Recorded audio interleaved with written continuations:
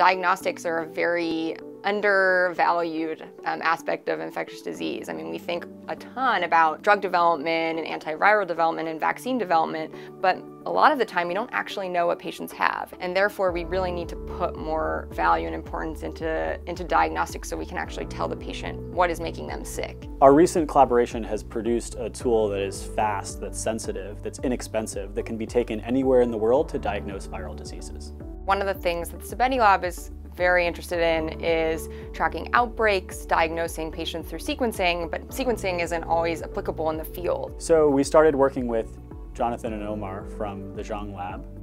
They had developed this really nice method called Sherlock that combines isothermal amplification and Cas13 detection. One of the key limitations for Sherlock is that you typically have to start with a nucleic acid extraction. This takes time and typically involves a lab environment. So in the Sabeti lab, we developed Hudson, a complementary method to Sherlock that allows you to prepare samples without doing any nucleic acid extraction. Uh, and this is great because it allows you to go directly from a bodily fluid, so blood or saliva or urine, uh, and then go straight to diagnosis we were able to test uh, clinical samples with this new technology and not only test the fluorescent-based readout, which requires a machine, but also test the visual-based readout that's new with this Sherlock version 2. And so now we'd actually be able to look at the strips by eye and just take a picture of them with a cell phone camera in order to give that result back to a patient.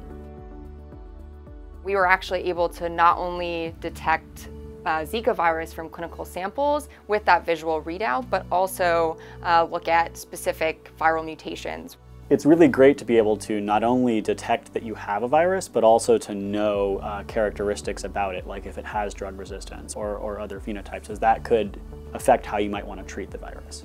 One of the things that our lab was particularly interested in is can we expand upon this platform to detect multiple viruses? For example, Zika virus often manifests the same way that dengue virus does, and, and these viruses co-circulate in the same region. So it's very important for you to be able to say this patient has Zika versus dengue virus. And so one of the things that we did to do this is create uh, panels that detect not just Zika virus, but other co-circulating viruses. We'd love to develop the technology for a whole wide variety of other viruses and really start deploying it in different parts of the world, not only to study samples from patients that we know are coming in as sick, but also to potentially use for surveillance.